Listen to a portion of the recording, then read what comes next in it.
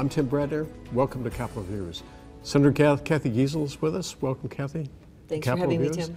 Um, Senator Giessel is a healthcare professional, and she is best known for work in resources in the Senate, but she has also done a lot of work in healthcare, innovations in uh, promoting innovations in healthcare, uh, uh, availability of, of, medicines and resources, the cost. Uh, Cathy, I remember a couple, three years ago, there was a vaccine availability bill. Maybe you, it was pretty interesting. Maybe you could explain what, how it worked. Sure. Uh, you know, when Ted Stevens was serving us in the U.S. Senate, he got extra funds for the state of Alaska to fund a vaccine for children program. Well, when he left the Senate, the uh, Centers for Disease Control actually started lowering our uh, allotment of funds. And so the Vaccine for Children program began to go away. Well, it's an important program.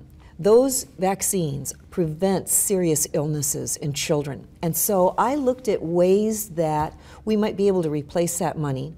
And we came up with a, an innovative plan. It's a public private partnership. So the state of Alaska partnering with, partnering with insurance companies to pool our resources and get an economy of scale in bulk buying. The state of Alaska can buy vaccines in very large quantities. And we do so anyway, don't we? We do so anyway. And so with the insurance companies, they pony up the money up front for the year, estimating how many vaccines their insured population will require, and they put it all together with the state's money, and then we're able to supply those vaccines at much lower and even free cost.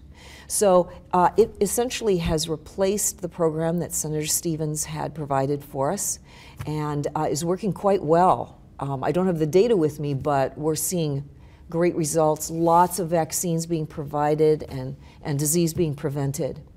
Is, are, the, are the vaccines supplied through, through uh, neighbor, nonprofit health facilities or just through through all clinics, or- through okay. all clinics. In fact, a let's say a um, a physician had their own practice, they could also buy into this program and get the vaccines at much lower or even free cost for certain uh, beneficiaries. yeah, for their patients? Right. So it's been very innovative. Um, we also passed a piece of legislation that allows pharmacists in neighborhood pharmacies to actually administer those vaccines to people that eh, live in the neighborhood, stop by, want a vaccine. Um, there is a charge, of course, for it, but in the past, those pharmacists had to have a physician oversight, actually co signing on orders. But now, those pharmacists are able to do it without that oversight.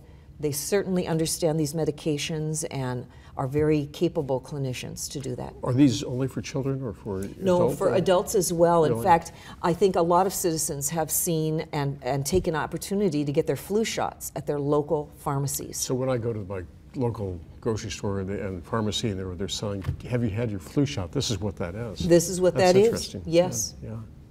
How many uh, and how many different types of vaccines are, are, are done through Oh this? my, all of the vaccines are offered through this program. Uh, the Department of Health, uh, the Public Health Division, has uh, managed to, to um, get all of the vaccines that, that adults and children would want.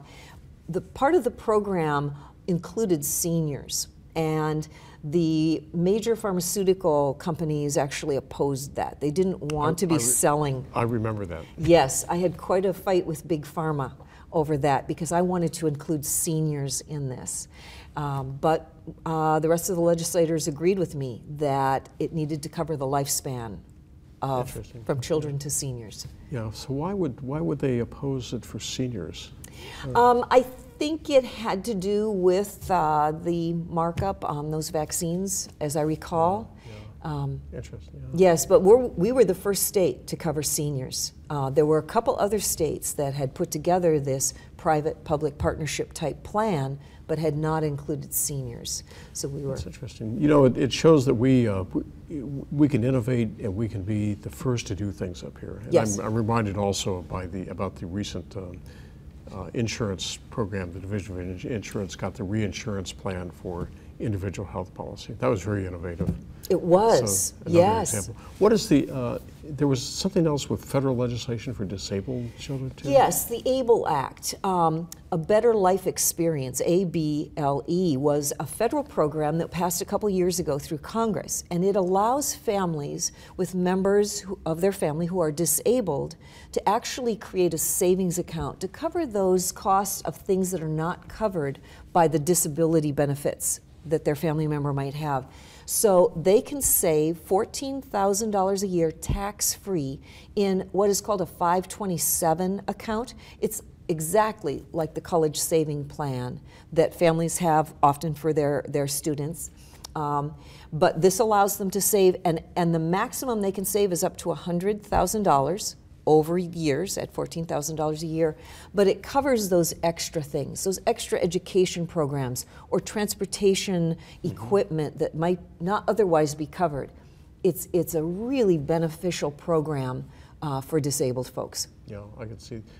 The, um, um, you're going to be busy with health Yes. legislation.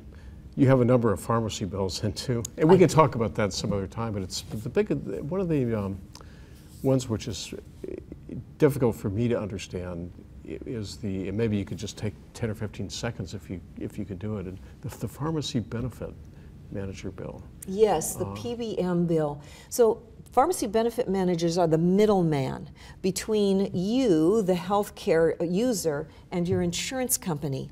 And as middlemen, they take a big cut out of the money that's reimbursed to your pharmacy. There's a pharmacy here in Juneau that lost $10,000 over a three month period because the PBM reimburses them below the cost for the ma- medications that they are dispensing to us, the citizens. This has to change, and that's what this bill would do. Yeah. Well, we'll have to talk about that Yes. next time we do this. All right. Thank, thank you very much, Senator Giessel. This, I'm Tim Bradner with Capitol Views.